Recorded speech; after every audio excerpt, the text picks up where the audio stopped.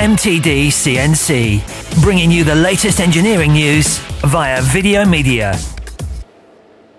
I'm inside XYZ Machine Tools' showroom here in Tiverton in Devon and I'm looking at an SLX 425 CNC lathe. This machine is a really popular seller for them. I'm just going to highlight some of the features um, behind or some of the reasons why it is a successful seller.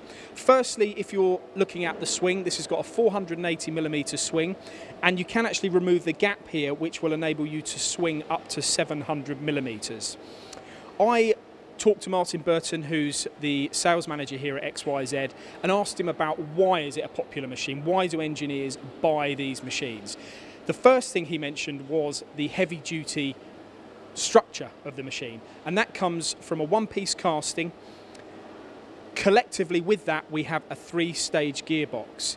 Those two features together, and the fact that this particular model weighs three tons, give you the capability of machining very, very difficult uh, or, or machining in difficult environments. There are other neat features as well that he touched on. Firstly, the tailstock. This, if I turn this like air purge, I can move the tailstock backwards and forwards very, very easily as a result of that pneumatic lever there, which going back to my machining days, moving a tailstock up and down a machine can be a real pain.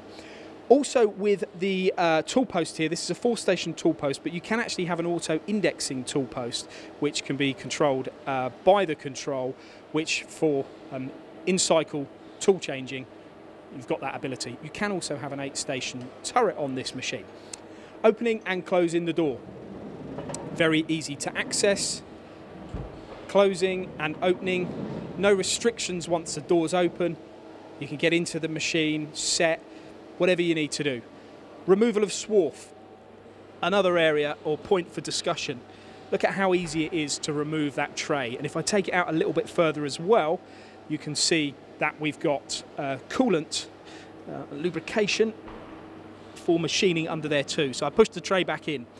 Obviously with this machine you've got handles so you can machine manually or by using the very popular ProtoTRAK SLX CNC control you have with the SLX 425 a complete flexibility. It's a very popular machine and at the moment they do have these machines in stock so you can see more about the SLX 425 by visiting xyzmachinetools.com or visit www.mtdcnc.com.